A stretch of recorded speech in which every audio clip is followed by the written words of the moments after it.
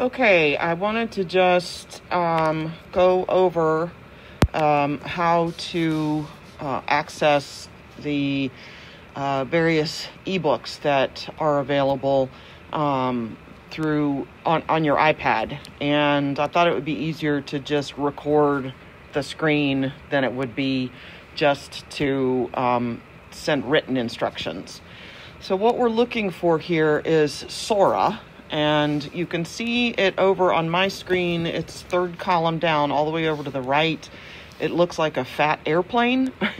um, a lot of people debate what it is, but um, for uh, your purposes, if it's if it's not there, it is in your self-service folder, and you will need to go install it. So you can pause this recording and go to your self-service folder and go ahead and install it if you don't have it installed already. Uh, I'm going to go ahead and open mine. And I probably will need to log off. Yes, so give me a quick chance to sign out of mine and so that I get to the same screen you're going to get to. Okay. So once you open it for the first time, this is what your screen will look like. And um, there are a couple of ways to get in. Um, the first is if yours says my school is Broome Tioga BOCES, like mine says in the green uh, bubble here, you'll click that. You'll get to a drop down menu, and you will then go to right there where it says Owego Apalachin Central School District. You'll click there, and then you'll sign in with your Google credentials. If you don't get this green bubble, but instead get something that looks like this, which um, many of you will. That's fine. You really want to look for the the big white window where it says Broome Tioga BOCES. For some of you, it might say Broome Tioga BOCES and then something like Binghamton High School underneath, which is fine. You could still just click "This is my school," and you will then get to the same drop down menu and Owego Apalachin. Once you've signed in for the first time, it will, you won't have to go through all this again. So I'm going to continue. I'm going to sign in. And Miss Hammond, if you're watching this, you can do this too. You have access to all this. So I would um, strongly suggest you have that on there. Um, all right, so once you get in here, you will then have, um, you will see this first window that says available now. Um, and it means that these are books that are literally available right now. What I want to point out to you, I'm sure some of you really like to read audiobooks so that your primary way of getting the book information is to listen to it. And you'll see that this book, What Happened to You, on the bottom shelf on the left side, and Midnight Sun um, on the bottom row, both have what look like headphone icons uh, um, under them. That means those are audiobooks. Um, so if you really like audiobooks, Sora is an excellent resource for accessing audiobooks. Then if it doesn't have the headphones underneath it, like most of the other books on this uh, on these rows, um, you can just you can open it up and you can read it. And you can see right in the blue bottom of the blue square, it says over 3,100 books are available right now for you. That is a lot. you can also um, see if you if you can go to just scroll up a little bit and you can see popular subjects. So if you like horror see over there on the right where it says horror you can click there and look at the horror books. If you like mystery there's mystery on the second column down. If you like fantasy all sorts of good things that you can have available to you. And then what I want to emphasize is over here on the top left where it says comic and graphic books, you have tons of comic books and graphic novels and manga that are available here. And so if you click there, um, you can see that we have lots available here.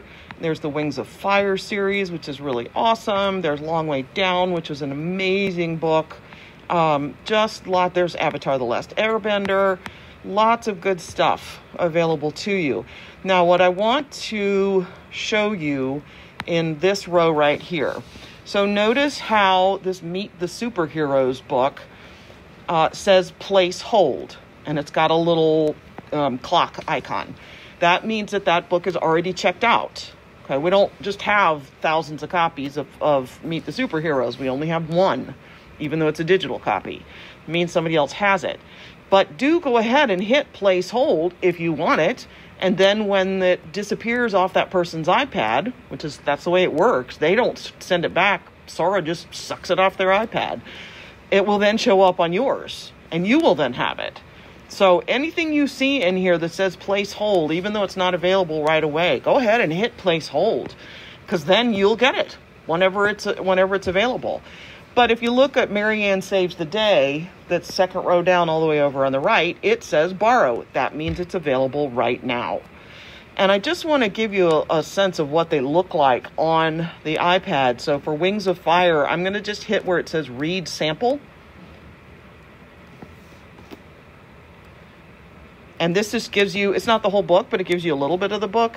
And I just want to show you how terrific it looks on the iPad. Looks so good. Um, so I would strongly suggest that you take a look at the graphic novels that are available to you on your iPad. So I'm going back to the Explorer and you could see there's more here. If you wanted to look at picture books, there's books for elementary school, there's most popular, um, all sorts of good um, things to t- kind of take a look at. The other thing I want to do very quickly while I have your attention is I wanted to go ahead and add even more books available to you in Sora. So I want us to click the three lines up in the top right corner of your screen and you are going to go, you're going to click the blue bubble that says Add Library. And what you are searching for is NY Reads. When it comes up, you will hit This is my school. Now, I'm already in, so um, I'm going to, uh, I, I, your screen won't look like my screen. Um, but what you will get when you hit This is My School is a very, very long drop down menu, and you will then need to look for Owego.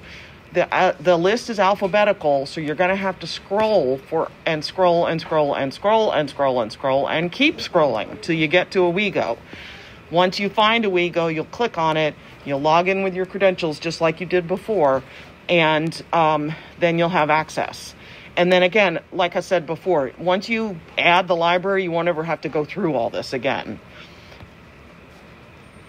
And you'll see then now we have, and so now up at the top right it says NY Reads. So there are all these audiobooks that show up right at the top. And now we have even more um, young adult fiction. We have more classic literature. So not just what is available to you through our um, subscription to Sora, but now you've added more. And you might have noticed when I clicked my three lines over here, there are other libraries you can add. You just have to have an account with those. They are free, but um, you know that's something we could talk about later. Um, so I just wanted to make sure you know um, where all these different sources are available to you, and um, and take advantage. Uh, if you have any further questions, just let me know. Otherwise, I'm going to go ahead and stop recording, and I will send this recording to Ms. Hammett. Thanks.